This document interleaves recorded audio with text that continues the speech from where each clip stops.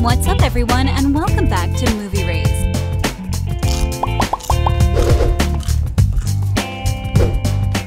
After has become one of the most popular romantic dramas of recent years. Fans have been losing their minds over bad boy Hardin Scott, and for good reason. Now, we're going to be taking you behind the scenes, and we will be talking about some of the crazy bloopers that happen off camera. You're going to discover some of the secrets that the creators don't want to show you. At least, not explicitly. And did you know that only true fans saw these after bloopers and funny moments? So, let's dive right into it, shall we? Number 6. Josephine and Hero are still sweethearts behind the scenes. Josephine Langford and Hero Fiennes Tiffin are such good actors that half the time we don't even know if they're acting or not. We just think that these two are seriously in love with one another, like these bloopers for example. The first one is when Tessa is lying next to Hardin on the grass. He's looking at the sky and partially looking at her. We can see she's probably doing most of the talking here, and Hardin is just listening. I mean, these two are just adorable. Even for the bloopers, they're still being professionals and don't drop the act, which is partly the reason why we've had so many fans coming up with crazy theories as to how these two are dating in real life. Don't get us wrong, we would have liked to see that too. Sadly, we didn't see it happen. The next scene was in the aquarium when Hardin said, I still can't believe it. When Tessa asked him what it is that he can't believe, he just said, That you're mine. Now please be kind and tell us that didn't make you want to kiss him right there, right then. Promise to act like this every day. No? I'll try. Number 5. Zed tries to hit up on Tessa. This next scene is a deleted scene that, in our opinion, should have made it into the movie. And if we're being honest, this scene would have made the movie much better. Plus, it would have been true to the actual books. In this scene, we have Zed catching up with Tessa after English class. He starts complaining how he can't understand anything in that class. He doesn't know if the teacher is actually speaking English, which is a pretty bad sign. Now, we knew that this was just a little sob story to make Tessa feel for him and actually tutor him, where Zed could make his move and actually win her over. And yes, Tessa does offer to help him after he starts talking about how he's going to drop the class before it's too late. As soon as he heard that, he immediately replied, That's exactly what I need. You need to mind your own business, pal, and leave Tessa and Hardin to deal with their problems. They have enough of them as is. We don't need you piling on. Yeah, I gotta drop that classic for the deadline. Maybe you just need a study partner? That's exactly what I need. Number 4. The actual tutoring session. Still don't believe us that Zed was after one thing, and one thing only? Then watch this next deleted scene. In this scene, we're at the actual tutoring session, and you would think that Zed would have chose a library or some other quiet place where they could focus on the lesson. But did he do it? Heck no! He just brought Tessa to smash that like button just like you should do if you haven't already. But no, he actually brought her to a diner. I don't know if anyone's told Zed this, but that's not where you go when you want to study. That's where you go on a date. And yes, in his sad little world, he actually thought that they were on a date. Just look at how he's trying to get closer and closer to her. And then Steph actually tells him to stop.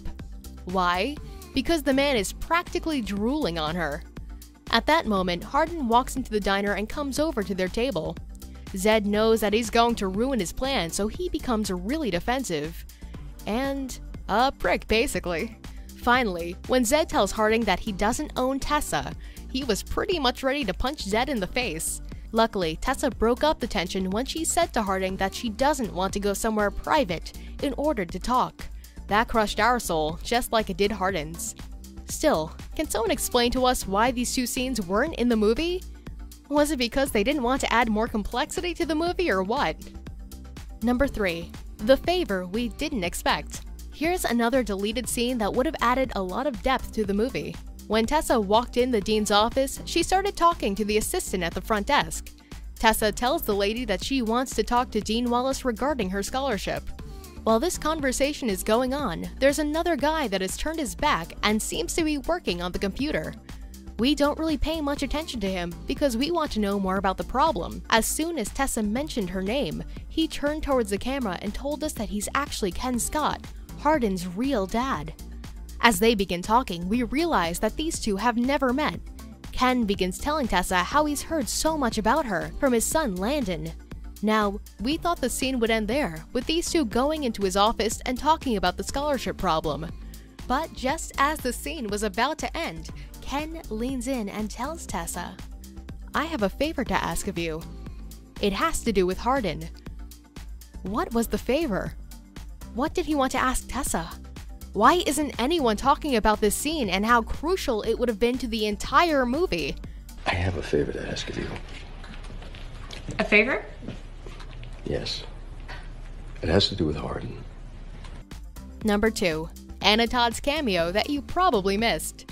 If you watch any of the interviews with Josephine and Hero, you will realize in many of them, Anna Todd, the author of the After book series, is actually present. That's because she has formed a really close bond with the stars, and they love her as much as she loves them. They even said that she's always on the set. She's everywhere, but not in a negative way. She's always there to offer support and help, not standing over their head. That's why the cast and crew decided to give her a little cameo appearance in the movie. In the very last scene, after Tessa breaks with Hardin, she goes in to hand her application for a job at Vance Publishing. She was the girl holding Tessa's door as she entered the building. But did you know that this seemingly easy scene took several shots? That was because they couldn't figure out how Anna could hold the door for Josephine while still looking at her. Number 1. That's how you get ready for a wedding. This was the absolute best deleted scene that should have made it into the movie. Why? Because here we saw Tessa and Hardin getting ready for the wedding. Hardin was complaining about how he doesn't want to go to the party, but Tessa was persistent. As soon as she walked out of the dressing room looking fine as hell, Hardin's breath stopped. It's here that we realized how much Hardin loves her, how much he's ready to sacrifice for her. He was actually prepared to do something that he would never do in a million years. Now, why in the world would anyone discard this scene? The first thing that we have to consider when looking at deleted scenes is the director's reasoning. When shooting a movie, every director worth his salt would like to make as many scenes as humanly possible, and then just select the ones that are absolutely necessary to the movie. So, when you have to choose from hundreds of scenes, some of them just don't make the cut. Even if the scene is really good, the director will usually omit it out of fear of the movie being redundant. You don't want to have Hardin fall in love with Tessa 12 times in the movie. You only need to do it once and move on to the next part. On a related note, do you think Hardin is a bad influence on Tessa? Or do you think he keeps her safe and secure? You can tell us in the comments below. If you'd like more videos like these, don't forget to subscribe to our channel and hit the bell icon so you never miss any of them. And as always, thanks for watching guys!